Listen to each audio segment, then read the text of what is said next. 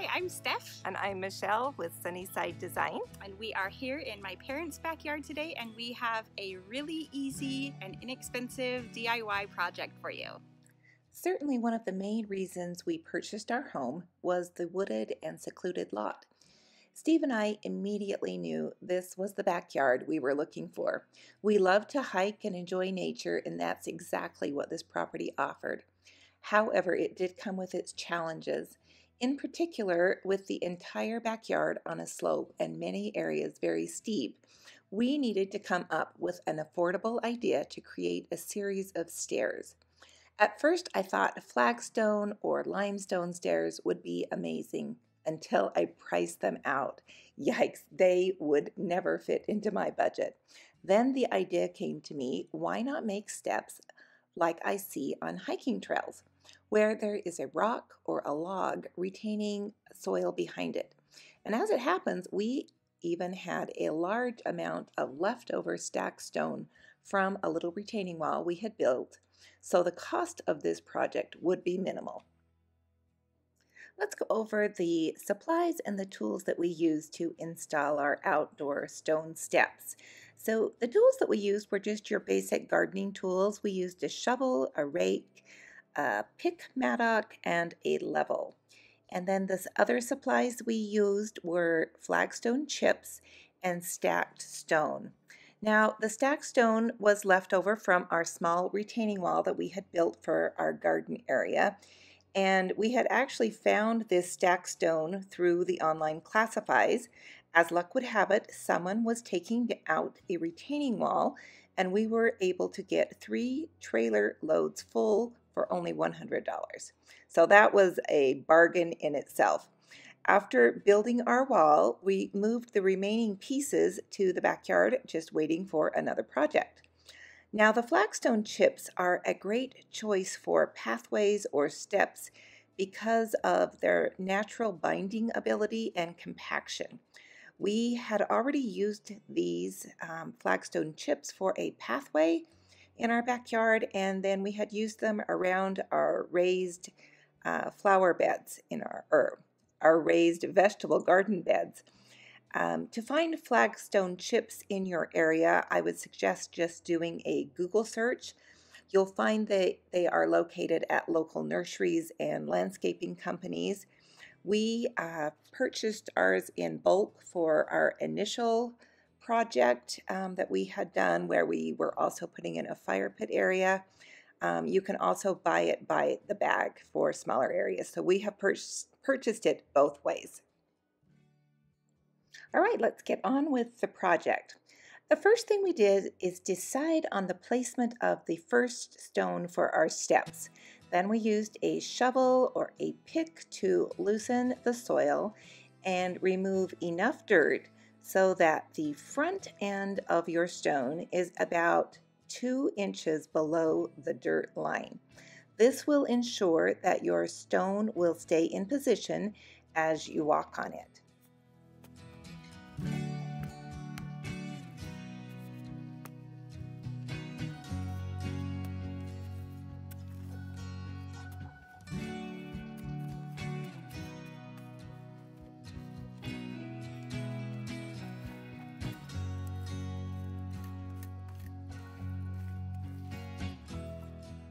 As you clear away the soil for your stones, you may run into some roots from trees. You can use either the pick mattocks or a hatchet. We actually, on some of our um, stairs, ran into some larger roots and we actually got out the chainsaw to remove those. So you'll have to just kind of um, if you run into tree roots, um, improvise and get, do what you can to remove those um, obstacles in your way. Once you think you've cleared out enough dirt for your first stone, you'll want to place it into position and see if you need to make any adjustments to fit it into the location where you need it to fit. As each stone step is placed into position, you'll want to make sure that they are level. Not only did we make sure that our stones were level side by side by side, but you'll also want to make sure that the stone isn't tipping forward or backwards. You'll want it to be nice and level so that it feels safe to walk on. Now the stones are not exactly smooth um, on the sides at the top or the bottom and so you'll have to kind of adjust the dirt if you're using stacked stone to help it to fill in in those gaps and to make it level. And so here Steve is just taking the the soil and um, sprinkling it in where he needs a little bit more and then kind of compacting it down when he puts that stone on it and then he'll check it again for level. It usually takes two or three times pulling that stone in and out to get it exactly um, in the position we would like it to be in for the stone. So you'll have to just kind of adjust that back and forth as you place each stone.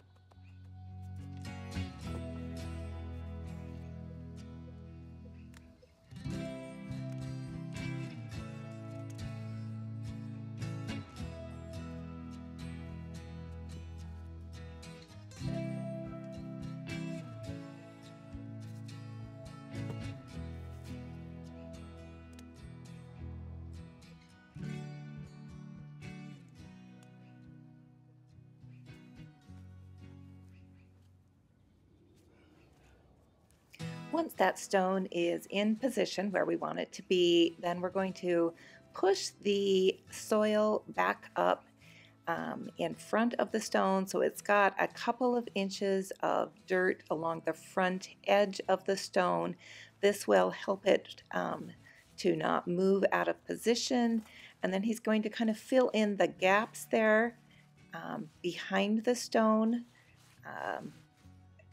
So that that will all be filled in. And then when we get all the stairs into position for this location, we'll take some water, the hose, and sprinkle the soil, which will help compact it um, as well. And that will make it stable. So now we'll move on to the second stone and you'll see how we'll, we will create a little landing pad for each step.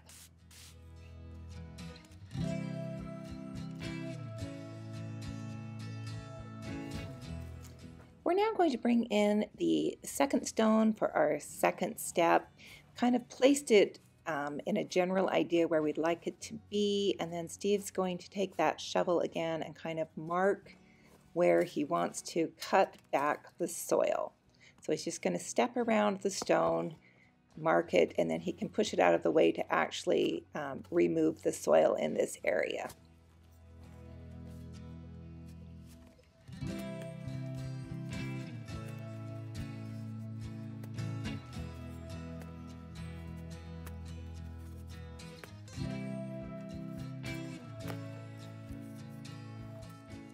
Now as we remove the soil for that second step, we're going to remove it level with the top of that first stone that we placed. So we'll just remove all of that dirt to the cut edge where the stone will be placed and then keep the soil flat and level with the top of the first stone.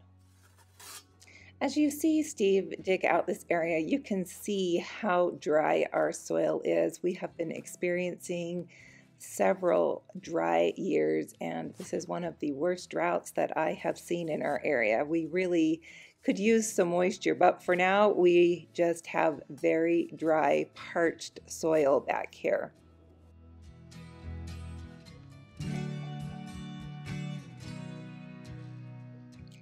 This time, it's time to fit that stone again and see what additional dirt needs to be removed. Now you'll see on this particular stone, you see you've got that point going down. He's going to have to um, allow for that and dig a little bit deeper in the center there so that that stone will be level on the top surface for standing on. Once again, we'll use the level again to see which direction we need to adjust the rock to make it level. we need to dig down a little bit more on one side, and place a little bit more dirt on the other side to make sure that we've got a nice level step here. If you're enjoying this video, please give it a thumbs up and subscribe to our channel.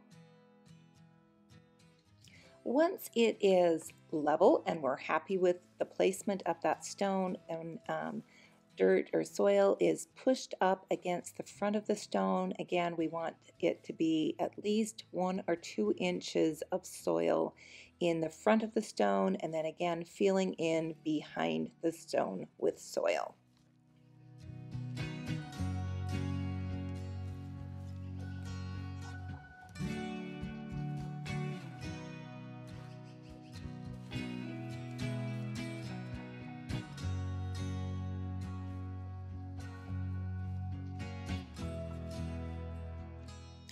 Now that that second stone is into position, we are just going to repeat the process, continuing our stairs up to, this is a little play area for the grandkids. This is where the teeter-totter is. And so we'll just continue this process, adding in our stairs to get it to the height of the teeter-totter. If you're enjoying this tutorial on how to install some stone steps in your landscaping, please give us a thumbs up and uh, please subscribe to our channel if you would like more DIY ideas on a budget. And if you know of someone who could enjoy or use this video, please share our video. That helps grow our channel and we would really appreciate that. Thank you. Once each of these stone steps are into position, then we come back in and kind of brush off any loose dirt. We actually want that landing pad behind each of the stacked stone area to be about a half an inch lower than the stacked stone.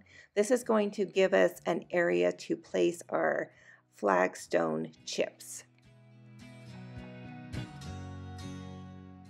Now it's time to uh, sprinkle the area with some water. This is going to help compact that soil. Now we have very dense clay soil and so it compacts really well for this. And so we just need to wet it and the water itself is going to help that soil to compact. And that is going to prepare the area for the flagstone chips. Bringing the camera a little closer here, now you can see um, behind each of those stacked stone pieces that the soil is about a half an inch to an inch below the stacked stone. And now we are ready to place in our flagstone chips. For this section, because it's just a small section, we purchased bagged flagstone chips. And I'm just going to use the flat garden shovel to um, scoop the chips and place it on each of the landing pads behind each of the stacked stone pieces.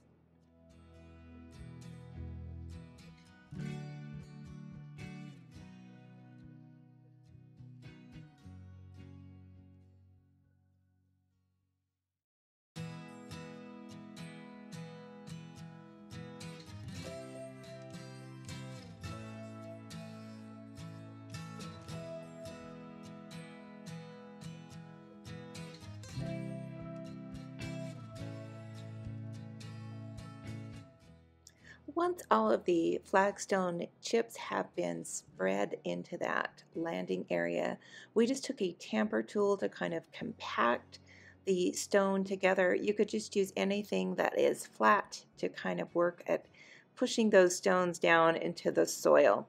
Um, another um, helpful tip for this is also sprinkling it with water. These flagstone chips also have um, the dust from crushing the stone in the bag as well. And as that is uh, wet with water, it kind of helps in the compaction of the stone itself. After we placed those flagstone chips into position, we realized that we probably needed to create a little bit of a retaining wall along the left side of the stones there. And so we had some thin pieces of the stacked stone that we kind of dug down on the edge there and inserted those to help retain that soil. so that we don't get the dirt washing on to our stones or our flagstone chips. I'd now like to take you on a little walk of some of the stone steps that we have created around our landscaping. This particular step um, goes right up to our fire pit area and then we made a pathway from the other side of the fire pit area and made a few more stone steps going up here and then on up the hill we go up to where the teeter-totter is and the steps that we showed you how to build here that take up the kids up to their play area.